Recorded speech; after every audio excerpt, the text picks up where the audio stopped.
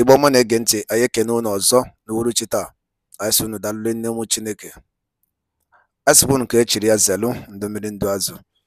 Mmiri atara m azụ anwụna a sị na dịrị mma na nkwọ dịrị mma na orie dịrị mma na afọ dịrị mma na eke ise ise ise.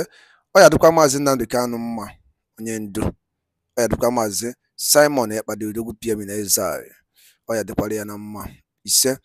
Ọrit dịka o si dị na anyị agbapụ na ya ọsọ igosi n'iru akwụkwọ ife were n'iru akwụkwọ unu anya n'iru akwụkwọ a.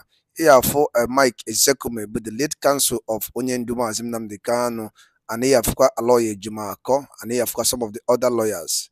Yes e nwere court case eme today and I don't think Biafra they are aware of it. So I just um saw the update nsị ka m drop ọrịa ụmụ Chineke ka unu aghọta ife na-eme na ya ka ya bụ okwu maazị Nnamdi Kanu si aga dịka kwere unu nkwa. Alright um, Maazị Mike uh, Ezekome nke bụ the lead counsel of Maazị Nnamdi Kanu onye ndu um, do the, did the analysis concerning the court update for today for today. Akwụ na aghọta? Ọ kọwara ihe niile ka ya bụ ife si wee gaa so nna asị ụmụ Chineke gee na ya bụ ife unu ga-esie ya una all your own comment and your own point of view in this case. Alright um thank you so much. Alright over to you. Over to you, sir. The lawyer of the leader of the proscribed indigenous people of Biafra, IPOB, Nnamdi Kanu, who is in the Department of State Services DSS custody, has said that Kanu requires urgent ear surgery amidst his reported failing health. Mike Ozekhome made this known at the Abuja Federal High Court during the hearing of the case where Kanu is seeking an order granting him unhindered access to his personal doctor.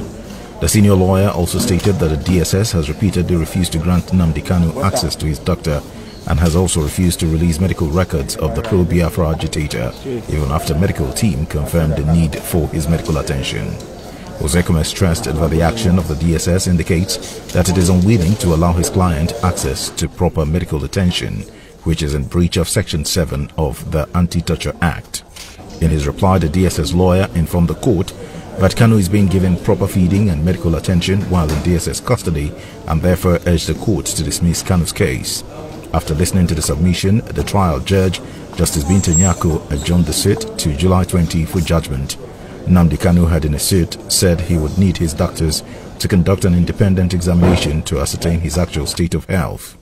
Kanu is praying the court for an order granting him leave to apply for judicial review in the form of an order of mandamus compelling the respondent to allow him unhindered access to his medical doctors to enable them conduct an independent examination of his present deteriorating health condition as earlier ordered by the Federal High Court, Abuja, on October 21, 2021, as required express provisions of Section 7 of the Anti-Torture Act 2017, as well as an order of this Honorable Court granting leave to the applicant to apply for judicial review in the form of an order of mandamus, compelling the respondent to avail the applicant with all his medical records from the 29th day of June 2021 to date.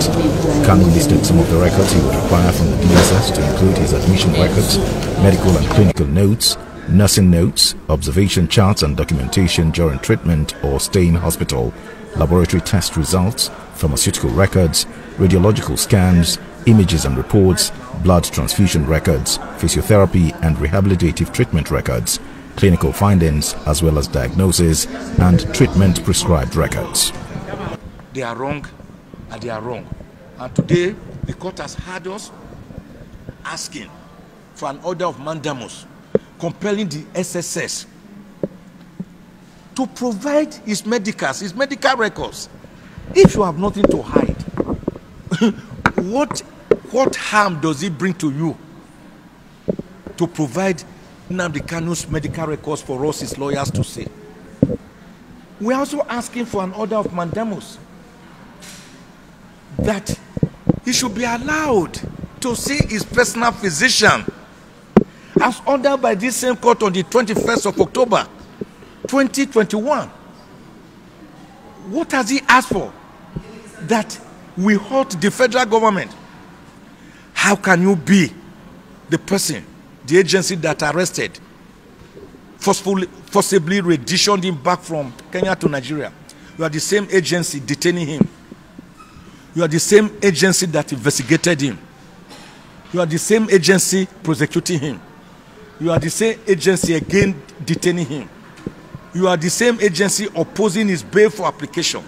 You are the same agency op- op- op- opposing his application to be transferred, at least from your gulag to the Kuje Correctional Center, which is a place meant for people who have been granted bail, as, as was his case. So they are they have become not just the judge and the prosecutor, they are also the arrestor, the detainer, the prosecutor, the investigator, the judge. And and you cannot run a country like that. SSS, listen and listen good. Abide by the order of the Court of Appeal made on the 13th of October 2021. Let Nnamdi Kanu go. Release him. Let my people go. Moses told the Egyptians, Let my people go. They will not hear. He was with his brother Aaron. Am I right? They will not hear. And Pharaoh, the Egyptian emperor, brought magicians. Anything that Moses conjured, they will conjure to show their power, the power of man. But it was God in action. Go and read Exodus 8 19. The finger of God. When the camp of Moses conjured gnat, gnat, little louse, little lice, lice in the head, those small insects in the head. When they conjured them, the Pharaoh Egyptian magicians tried to also conjure the same gnat, the same lice. They could not. And that was the smallest of all the feats. They went back to Pharaoh and say, This is the finger, this is the finger of God. Let these people go. But Pharaoh was already deafened. He will not hear of it. When the Israelites were going, God parted the Red Sea for them to go through. And then the Pharaoh army with chariots and charioteers, they came steaming, pursuing the Israelites. And God closed the Red Sea for them. And they drowned. This is a caveat to the federal government. Don't let this in the Kanu drown us.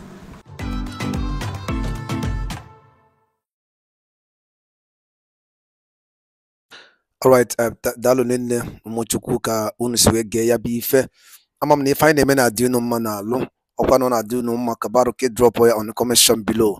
Alright once again we promise to be bringing you the latest gist and the latest update on what is happening in biafra land the latest news anyị kwere unu nkwa na anyị ga-ewetara unu ya ọ na-afụgo ka court today si wee gaa ka efi nwere ike ikwu gbasata maka ya bụ court drop it on the commission section below alright